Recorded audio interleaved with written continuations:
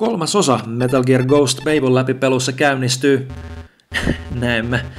Jälleen kerran yhdellä muistutuksella siitä, että meidän pitäisi tosiaan löytää kersantti Jenner jostakin päin tätä valtavaa vartiotornia, jonne juuri kavuttiin edellisvideon viemäriverkostosta.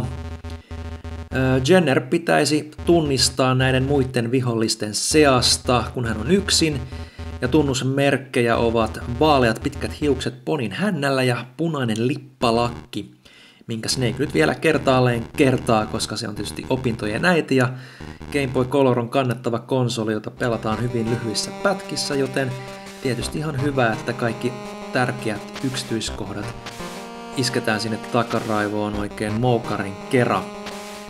Öö, edellishuoneen kaveri täytti vain puolet kuvauksesta, joten niin helpolla ei tosiaan päästy, että Chris löytyisi aloituspisteen viereisestä huoneesta.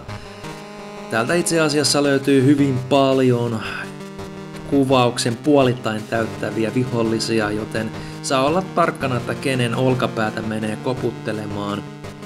Mutta tiedetään nyt, tai meikäläinen tietää, ja pelin pelanneet tietää, että ei nyt ihan tovin Kristä tuu löytymään huomattavasti syvemmällä tätä vartiotornia, joka on huomattavasti isompi kuin nimi antaisi ymmärtää. Täällä myös konkretisoituu aika pitkälti ne meikäläisen edellisvideoiden maininnat siitä, että tämä peli on huomattavasti sokkeloisempi ja monimutkaisempi kuin muut Metal Gear-pelit, niin kaksi kuin kolmiulotteisetkin rakenteeltaan, eli täältä löytyy näitä sokkeloita ja labyrinttejä ja huoneita ja lukittuja huoneita sieltä täältä. Pistää, pitää pistää todella tarkkaan muistiin, että mitä mistäkin löytyy. Itsellä toki on jonkin verran näitä muistisääntöjä, mutta tätä pelatessa niin oli vierähtänyt sen verran aikaa, että tuli sitten käytyä myös esittelytarkoituksissa aika pitkälti jokainen huone ää, läpi. Saisi jonkunlaisen kuvan, että mitä täällä oikeastaan tapahtuu. Edellishuoneessa nähtiin myös noita ää, ritilöillä varustettuja lattioita, minkä takia tuli tosiaan ryömittyä, ettei aiheuta liikaa turhia hälytyksiä. Niitä kyllä on toki luvassa, pahoittelen.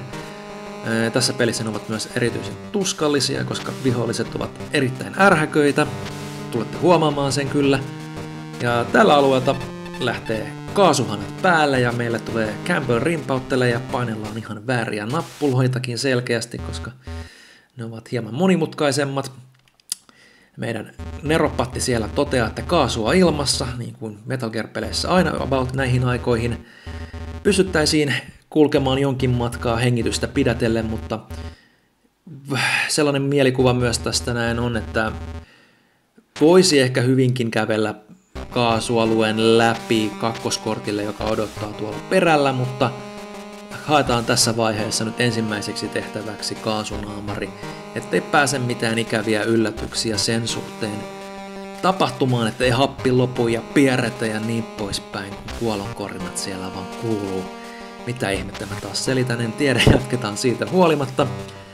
Täältä huoneesta löytyy tosiaan tää Chrisin puolittain kuvauksen täyttävä kaveri, Ponin häntä ei hulmua. Sen kyllä erottaa yllättävän hyvin siitäkin huolimatta, että kyseessä on hyvin vaatimaton, vaatimaton, vaatimattomalla suorituskyvyllä varustettu Game Boy Color. Ja meillä tosiaan on näköjään panokset täynnä, eli harmaat laatikot on panoksia, hyvä muistisääntö sekin. Tässä vaiheessa peliä tämmöiset ovet ovat lukittu avainkortilla ja meillä ei riitä siihen valtuudet tällä hetkellä. Ja tässä tosiaan on kaveri, jolla on ponin häntä Eli ihan hyvin se erottuu, kunhan se kävelee tälleen sivuttain suunnassa alaspäin kulkiessa vähän huonommin. Mutta täytyy nostaa kuitenkin hattua Konamin graafikoille ja suunnittelijoille, kuinka tämmöisen pienenkin tai monimutkaiseltakin kuulostavan yksityiskohdan voi saada aikaan aika pienellä vaivalla. Hulmuava tukka tietysti voisi olla aika kova suoritus Game Boy Colorilla. Ja Campbell meille täällä huomauttelee, että paikalla on infrapunasäteitä, jotka ovat näkymättömiä ihmissilmälle, mutta meillä on onneksi tämä huikea savun, savulaite, mikä meillä nyt onkaan, joka ei ole tupakka, eh, joka auttaa meitä näkemään infrapunasäteet, kunhan hiivitään tarpeeksi lähelle, ja tämä on kyllä yksi pieni murheenkryyni tässä pelissä, ellei nyt satu muistamaan ulkoa joka ikistä infrapunasädehuonetta, joita on huomattavasti enemmän kuin muissa Metal Gear-peleissä. Täällä kyllä saadaan jo läpipeluminuutteja reilusti eteenpäin. Tää taitaa olla niitä harvoja alueita, joissa itse asiassa nämä, tai ainakin niitä, se, no harvoja alueita, mutta ainakin tämä alue on semmonen, jossa ö, muistaakseni nämä etenemisreitin kohdalla ei tule ollenkaan päälle noin lasersäteet. Täältä löytyy paljon huoneita, jossa menee pois ja päälle ja sit niissä se ajatus on hyvin sekava, että kuinka kauan ne on edes päällä, joten välillä jää sitten ihmettelemään, että no sammuuko se vai eikö se sammu, mitä pahoittelen jo etukäteen. Tuutte näkemään todennäköisesti seuraavassa huoneessa, missä nuo infrapunat tulee päälle. Öö, mutta joo, hälytyksiä to, öö, toivottavasti ei tule ihan hetkeen, mutta to, jonkun verran tosiaan haparointia ja muistisääntöjä on itsellä pelistä, mutta ne ei kaikki konkretisoidu tässä sit ihan sillä tavalla kuin muissa peleissä, että pahoittelut myös siitä, että haparointia taas tulee joka paikassa ja joka nurkassa ja käänteessä. Mutta eiköhän me selvitä kaikesta huolimatta. Ja tässä on ovi, josta me päästäisiin läpi, jos meillä olisi kakkoskortti, mutta no, tullaan kohta mennään ympyrä, ympyrä läpi ja niin poispäin, niin näette miten tämä alue rakentuu. Täältä löytyy kaasunaamari ja tästä löytyy lukittu ovi, eli nyt me tarvitaan se kakkoskortti, joka on siellä kaasualueen toisella puolella. Ja tässä jäätiin ihmettelemään vähän tuota turvakameraa tuolta puolelta, ei päässyt menemään, mutta jäin ihmettelemään, että no tuleeko se ihan loppuun asti ja Siinähän sitten käy tietysti vähän ikävämpi puoli, että tämä ponnari kaveri huomaa meidät ja tuutte näkemään tämän armottomuuden, joka näillä vartioilla voi olla, jos ei ole tarkkana, että kyllä näitä tulee tätä ihan mukavaa tahtia, mutta onneksi tästä pelistä löytyy suhteellisen paljon näitä huoneita, jotka resetoi hälytyksen nolliin, eli vähällä päästiin vielä toistaiseksi. Ja täällä tosiaan on tämä W muotoinen seiniä pitkin kiertävä reitti, niin päästään ihan mukavasti vielä takaisinkin. Ja tämä ponnarikaveri ei aiheuta meille suurempia vaivoja, mutta päätettiin nytten testata, että meneekö tuossa seinää pitkin liikkumalla, näkeekö toi kamera, mutta totta kai se näkee toisin kuin Metal Gear Solidissa, mutta kokeilu onneksi ei mennyt liian läskiksi, koska tässäkin huoneessa toi hälytys resetoituu, luojan kiitos. Ja, ja kaasunaamari on naamalla. Ihan kiitettävä tahti toi itse asiassa kuuluu toi, toi happi siitä huolimatta, joten ehkä oli ihan hyvä, että sen kävi tässä vaiheessa hakemassa. Jätetään toi kaveri hetkeksi vielä rauhaan. Tuosta ylemmästä ovesta pääsee tosiaan siihen huoneeseen, missä se kaasunaamari oli, mutta se on lukittuna. No, se olisi ollut siinä ja siinä, että olisiko tänne tosiaan ehtinyt ilman kaasunaapuri todennäköisesti olisi ja varmaan itse asiassa onkin, että pystynyt noin infrapunat skippaamaan siinä, siinä suhteessa omilla läpipelukerroilla, mutta nyt on vielä vähän tämmöistä epävarmaa ja muistelle, muiste, muistojen verestelyä vielä tässä vaiheessa oli pelissä, niin mentiin nyt tätä kautta varmaan päälle. Ja tosiaan tässä tarvitsee olla avainkortti hollilla, mutta tosiaan toi kortti itsessään päivittyy uusimpaan automaattisesti, joten tästä puuttuu se 2D Metal Gear-pelien draama, että onko nyt oikea kortti juuri, juuri hallussa, kun vartijat lähestyvät nurkan takaa, mutta otettu enemmän toi Metal Gear Solidin päivittyvä kortti meininki, mikä tietysti on helpottaa asioita huomattavasti ja vähentää tietynlaista draamaa, mutta olkaa huolti tässä pelissä kyllä riittää draamaa ihan omasta takaa niin kuin myös pelillisesti. Ei siitä huolta. Täältä löytyy Metal Gear 2-tyylinen hissi, jossa toi nappi on, lu, nappi on laaja kuin naamataulu. Sitä voi vähän nyrkillä naputella. Ja lähdetään katsomaan kakkoskerroksesta. Mitä täältä toisaalta löytyykään? Olisiko Chris jossakin päin? Täällä näin. Tämä ovi aukeaa. Tässä vaiheessa kyllä toi ovi ison kortin. Katsotaan pystyykö sen kiertämään jotain kautta, mutta täältä pääsee ihan mukavasti etenemään. Ja täällä taas hieman yritetään hämätä pelaajia kahdella sotilaalla, jotka täyttää kummatkin yhden kriisin kuvauksesta. Toisella on punainen lippi, se toisella ponnarilla tukka, vaalea tukka. Joten, joten, mikä siinä? Öö, tästä pelistä itse asiassa meikäläisellä on yllättävän vähän nippelitietoja, koska tämä ilmoitettiin aika, tai ainakin mitä itse niin huomasi pelilehdissä, niin tämä julkistettiin aika lyhyellä varoitusajalla, ja nyt tuli tämä hälytys, jossa joo, jatketaan kohta. Öö, katsotaan, miten tämä hälytystilanne meni. Mennään tänne piiloon, että ei ehdi näkemään. Ehtikö se näkemään? Ei nähnyt, mutta tietysti tekoäly tietää, että me ollaan tuolla, mutta koska se ei nähnyt suoraan, että me mentiin sinne, se jää vaan tuohon hollelle pyörimään. Ja kyllä tästä nyt näkee, kuinka ärhäköitä nuo kaverit, kaverit voi olla, joten niitä on kyllä parasta vältellä mahdollisimman paljon, koska myös kontrollit on sen verran, no en nyt sanoisi kankeet, mutta, mutta jos tulee osumaan vihollisilta niin ja ne pääsee ympäröimään, niin siinä kyllä on semmonen jengi päällä, että ei, ei kyllä niinku sokkona päästy ampumaan kovin montaa kaveria siitä. Mutta nyt väistetään tästä nyt sitten pahin, pahin kaveri.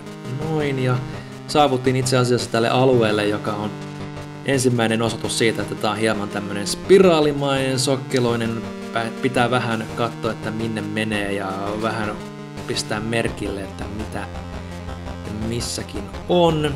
Muistaakseni tämä kaveri ei aiheuttanut meille ongelmia, joten lähdetään katsomaan, että minne tämä suunta johtaa ja minne toi kaveri on menossa. On kaksi eri paikkaa en nyt ihan väärin muista, niin tämä oli, oli, oli kuitenkin lukossa tässä vaiheessa. Kyllä vaan, joten suunnataan muualle, toisaalle. Ja tällä alueella tosiaan on näitä, näitä vartioita ihan kiitettävästi, mikä olikin tulossa just siihen pointtiin, että Kojimasta Kojima on hirveän vähän tosiaan kertoa pelin kehityksestä missään lehdissä, ainakaan mitkä osuu itselle silmiin koska tota, tämä tosiaan julkistettiin yllättävän lyhyellä varoitusajalla ainakin suomalaisissa pelilehdissä, mitä itse seurasi, niin vain muutama kuukausi sitten sen, siitä eteenpäin. Kun kuuli edes pelistä, niin peli olikin jo kaupoissa. Ja haastattelu, jossa joka Kojima antoi, niin siinä hän kehuskeli sitä, että no ainakin tässä pelissä on se etu Game Boy Colorilla, että pystyy olemaan enemmän vihollisia ruudulla kuin Metal Gear Solidissa PlayStation 1. Öö, mä en nyt muista tarkalleen ottaa, mitkä ne luvut siinä haastattelussa oli siihen aikaan, mutta kuten tässä nyt ainakin tähän astisista hälytyksistä nähnyt, niin vartioita pyöri se 3-4 siinä samaan aikaan, mikä nyt mun mielestä hirveästi on enemmän kuin PlayStationilla, mutta, mutta toisaalta tässä on niin kuin kartalla tai tuolla tutkassa näkyy useampi vihollinen samaan aikaan, että ehkä se niin viittasi enemmänkin siihen kuin hälytyksen aikaiseen vihollismäärään, mutta kyllähän tässä kieltämättä tukalammat paikat tuntuu olevan kuin pleikkarilla, kun hälytys tulee päälle. Mutta nyt selviydyttiin toistaiseksi kunnialla tästä näin. Katsotaan mitä täältä löytyy. Tää on enemmänkin varastohuone, joo. Täällä on rationeita ja panoksia, no niitä nyt kuluu jonkun verran. Tästä ei pääse minnekään, vaikka se näyttikin hieman epäilyttävältä. R5 eli meillä ei vielä ole sitä, joten me ei saada sitä haltuun valitettavasti. Olisi kyllä ihan hyödyllistä ottaa panokset haltuun, vaikka asetta ei ole, mutta tietysti jotain rajoituksia pelillisesti pitää antaa. Ja joo, tää oli tää ärsyttävä hälytys, jossa, jossa nyt todellakin näkyy, että no niin, jos ne näkee, että sinne menee, niin Sieltä tulee luotia ja nyrkkiä naamaan ihan kunnolla olan takaa. Rationit päällä, yritetään taistella tiemme läpi tästä. Ää, joo, jos olisi vähän järeempiä aseita, niin voisi ehkä, ehkä vielä selvitäkin,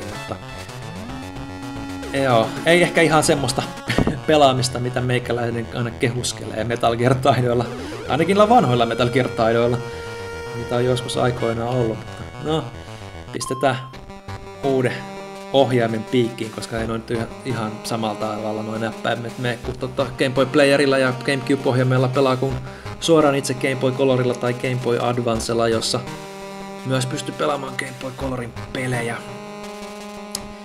Mutta tästä nyt selviydyttiin, niin napataan tosta nyt noita panoksia. Aina kun ne oli ne R5-panokset, niin täydennetäkään varosta, mutta toi rationi nyt ainakin täydennetään takaisin kahteen. Jep, jep. Pistetään tämä kaveri untemaille ihan, ihan äänenvaimentimen kerran, ettei nyt tuu toistamiseen samaa härdelliä päälle. Eli tää nyt oli sitten se oikea reitti. Vähän se epäröin, happaroin, koska aina pikkasen lannistuu, kun näkee noita infrapunasäteitä, kun niissä kestää aina niitä turkasen kauan. Tässä huoneessa varsinkin on just se, mistä mä aiemmin mainitsin, että, että nämä saattaa tulla päälle ja mennä pois päältä, ettei tiedä sitten varsinaisesti, että onko ne nytten pysyviä vai ei joka paikassa. Osa niistä on, osa ei, joten äh, tää on tämmöistä hidasta tarkistelua, että no, meneekö tämä päälle, tuleeko tämä pois päältä, onko tämä oikea reitti. Joten koitetaan nyt kestää, se on pelin henki. Se on pelin henki ja sen, sen kanssa nyt on vaan elettävä. Kuten myös tämän läpipelun kanssa on elettävä pahoittelut siitä. Öö, Mutta tosiaan Koima ei hirveästi ole tämän pelin parissa työskennellyt itse. Totta kai tuottajana jotain yleisluonnollista asiaa ja varmaan niinku jotain yleispätevää ohjetta antanut sinne kehitystiimille, mutta tämän pelin kehittäjä tai päävetovastuu on kaverilla nimeltä Shinta Nojiri, tai Nojiri. Että se ehkä Noiri, tälleen suomalaisittain luontevampi ilmaisutapa, kuten Kojimmakin. Niin tota, Noiri oli mun käsittääkseni, tai mä oon elänyt hyvin pitkään siinä uskossa, että miehestä povattiin ja vähän niin kuin yritettiin rakentaakin Koiman mantelin periää Metal Gear-sarjalle, koska Koimahan on tunnetusti sanonut joka pelin kohdalla, että se on hänen viimeisensä, koska on aika kypsä tietyllä, mit, tietyllä mittapuulla ollut aina sarjaa ja haluaisi aina tehdä tietysti jotain uutta. Totta kai sitten tuonut ne uudet ideat sarjan seuraavan osan, minkä myötä ne on ollut hyvin erilaisia edeltäjiinsä nähden, mikä on myös pitänyt sarjan huomattavasti virkeämpänä ja vaihtelevampana kuin monet ehkä nykypäivän pelisarjat, jotka on aika pitkälti sitä saman toistoa tiettyyn pisteeseen asti aina. Mutta tota, siihen aikaan tosiaan rakennettiin pelimoottorit jokaista peliä varten ihan uusiksi, ainakin japanilaisissa pelistudioissa hyvin usein. Mutta Noijeris tosiaan niin kun yritettiin leipoa uutta Kojimaa, joka ottaisi vetovastuun, ja harmikseen se ei sitten ikinä idealle kai lämmennyt. Öö, ei halunnut työskennellä jatkuvasti saman sarjan parissa, mikä sitten koitu Kojiman kohtaloksi ironisesti, mutta nyt tietysti Death Stranding on sitten ensimmäinen Kojima peli pitkästä aikaa, mikä on jotain muuta kuin Metal Gear. Ja Noiri itsessään hyvin mielenkiintoinen ura Konamilla. En ole itse asiassa ihan varma, että onko vielä mies firman muona vahvuudessa, mutta mutta, mutta tämän pelin jälkeen otti vetovastuun kahdesta muusta Metal Gear-pelistä, jotka kuitenkin poikkeaa tästä ja muista Metal Gear-peleistä ihan älyttömästi. Sillä kyseessä oli Metal Gear Acid 2, jotka julkaistiin PlayStation Portable. Eli nämä niin sanotut korttipelit, hiiviskelykorttipelit, mille meikäläinen kyllä niinku, no, kyllä mä ne pelasin ja tykkäsinkin niistä, mutta mä en ole korttipelien suuri ystävä ollut ikinä, tai no ehkä vähän liian semmosia monimuotoisia, monimutkaisia mulle, että mä niiden hienouksien päälle aina osaa ymmärtää ja osannut hyödyntää kaikkia niitä taktiikoita, mitä pakasta olevilla tarjonnalla olisi voinut käyttää. Et se, se vaati vähän omanlaista mentaliteettia, mutta kyllä se niinku hiiviskelypuoli siinä toimi, niissä toimi ihan hyvin kummassakin. Ja tosiaan spin-off-seikkailuja nekin molemmat ja luonteeltaan huomattavasti mielenkiintoisempia tarina jutut kuin ehkä tässä pelissä täydettäviä suht pysyy kanonissa tietyin osin, vaikka onkin epäkanoninen, kuitenkin luonteeltaan pysyy hyvin samoissa mittapuissa kuin pitääkin, mutta joo, Metal Gear Acidit mielenkiintoisia, mutta jatketaan Noiristakin ehkä myöhemmissä videoissa, koska mä luulen, että me ollaan ihan kohta löydetty Chris. Ja siinähän se neitokainen onkin, joten käydään vähän taputtamassa sitä olkapäätä. Snake, minä se olen. Niin me vähän veikkaatiinkin. Ja seurataan nyt tuonne seuraavaan huoneeseen, jonka jälkeen tulee vähän tarinaa ja taustatietoa ja sen jälkeen pistetään tämä video pakettiin. Siinä vähän taustatietoa tämän kentän läpäisystä. Äh, ei nyt mikään erityisen mairitteleva, mutta menköön nytten sitten tällä kertaa. Äh, tällä alueella ei tarvitse huolehtia vartioista ainakaan hetkeen, joten pistetäänpä hieman juttelutuokiota pystyyn. Ja tässä hieman vähän erilaista graafista ilmettä kehiin alkuintron tapaan. Mitäs nyt, ihmettelee Chris ja Snake on naisten miehenä taas toteaa, että Chris on silmistään huomattavasti helpompi katseltava kuin muut Delta-joukkojen jäsenet, joita hän on kohdannut ja Jep, jep, Chris ihmettelee, onko tämä Snakein tapa kohteliaisuudesta, mikä se tietysti on. Mutta mitä ihmettä Chris on saanut selville sillä välin, kun me ollaan haparoitu ympäriinsä. Muun muassa se, että James Harks, a.k.a. Jimmy the Wizard, Metal Gearin pääsuunnittelija, on kuuleman mukaan neropatti. Mutta hänen sijaintinsa on hieman kauempana tästä pohjoisessa erillisessä rakennuksessa. Sinne pitäisi siis ilmeisesti suunnata tämän videon jälkeen. Ja muutakin ne Netokainen on saanut kaivettua esiin, eli neljä palkkasoturia, jotka työskentelevät GLFlle konsultteina. He ovat tässä näin. Neljä melkoista kaveria. Ensimmäinen heistä on Slasher Hawk, jonka nimimerkki ase on jättimäinen bumerangi. Sen lisäksi meillä on Marionette Owl, Owl, joka on ö, mestari, salamurhaaja ja yöllisen taistelun mestari. Siksi pitää pitää aurinkolaseja päässä. Byro Bison, joka harjoittaa omaa ö, poltavamman taktiikkaansa jättimäisellä liekin heittimellä. Ja lopuksi meillä on tiimin johtaja, Blackheart Viper. Mielenkiintoinen veikkonen. Eli niin kuin Snakekin toteaa, niin Viper myrkyllinen käärme. Eli jotain rinnastusta tässä taas yritetään öö, tehdä. Mutta ehkä niin syvällisesti kuin muissa metalligereissä. Öö, Tämä joukko on ollut kehissä kaksi, kaksi vuotta ja on reissannut räjähdysherkissä paikoissa ympäri maailmaa, kunnes asettuivat täällä tänne Kindraan. Ja he ovat erittäin erittäin hyviä siinä, mitä he tekevät, ja huhujen mukaan kyseessä on entinen Yhdysvaltain erikoisjoukko. Hieman niin kuin Foxhound konsanaan. Ja Snake kiittelee, että Chris on saanut aika paljon tietoa kasaan näinkin lyhyessä ajassa. Ja me saatiin varmaankin sen verran todistetta Snakeille, että Chris ei tarvitse lapsen vahtia selvitäkseen täällä Kindran ympäristössä. Ja mitäs muuta, mitäs muuta. Nyt alkaa tietysti henkilökohtainen vuodatus, niin kuin yleensä tulee Metal Gearissa. Öö, me amerikkalaiset ei olla kovin tervetulleita täällä päin maailmaa, no onko se mikään ihme.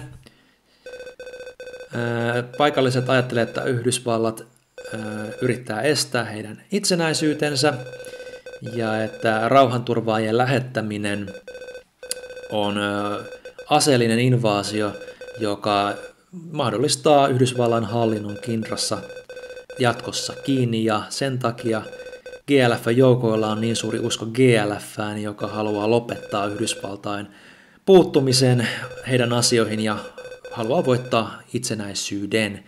Ja Chris ajatteli, että tämä tehtävä olisi tämän maan ihmisten hyväksi, mutta se mitä Delta-joukot on täällä tekemässä, niin ei ehkä olekaan, tai no mitä noin rauhanturvaajat täällä tekemässä, ei ehkä olekaan ihan niin puhtoiset jauhot heillä.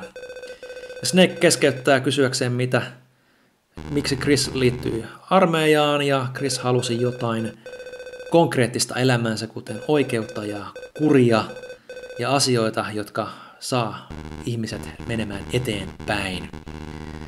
Ja Snake antaa sellaisen vihjeen, että ainoa ase, joka pitää elossa taistelukentällä on vaistot. Pysyä elossa. No niin. Ja Snake ei halua, että Chris kuolee, joten pitäisi pitää nyt vähän parempaa huolta ja ajatella tehtävää eikä mitään tämmöistä turhaa diipadaapaa kesken tehtävän. Ja Chris näyttäisi hieman olevan asiasta samaa mieltä, joten jatketaan hommaa eteenpäin. Snake lähtee Harksin perään. Öö, hänellä täytyy olla jotakin erittäin arvokasta tietoa Metal, Gearin, Metal Gearista ja sen kehityksestä, joten Chris aukaisee meille oven kortilla numero kolme, jonka hän on onnistunut nappaamaan jostakin. Ja Snake ihmettelee, että onko Chrisillä nyt aivan kaikki kunnossa, tuleeko, onko hän ok. Ja Chris vastaa, että ei mitään huolta, koska hänellä on tämä vihollisten univormu, niin kukaan ei voi erottaa häntä muiden sotilaiden joukosta, mutta se ei ole se, mitä Snake tarkoitti, ja Chris kyllä tietää sen varsin hyvin. Ne naiset ensin, katsotaan mitä täältä löytyy. Miksei voi seurata häntä suoraan, varmaan tekniset rajoitteet, mutta myös ehkä pelimekaanisesti se, että täältä tulee nämä vartijat meidän reitillemme ikävästi häiritsemään. Chris onnistuu kyllä näppärästi väistämään nämä kaverit ja turvakameratkin, se on vähän kuin mero kansanaan. Monessakin suhteessa, kunhan nyt ei miinoja näe, näkymättömiä miinoja näe, niin kaikki on hyvin. Mutta jees, Campbell varmaan meille vielä muistuttaa, että meidän pitäisi pelastaa James Harks, Metal Gearin pääsuunnittelija. Joten, joten siellähän se nyt on pohjoisessa olevassa rakennuksessa. Joten suuntaamme pohjoiseen, kunhan päästään Jennerin viitottamalta tieltä pois tästä, tästä Turkasen vartiotornista. Sen myötä kiitos, että olette jaksaneet katsoa tämän videon loppuun asti. Seuraava video julkaistaan, kun julkaistaan.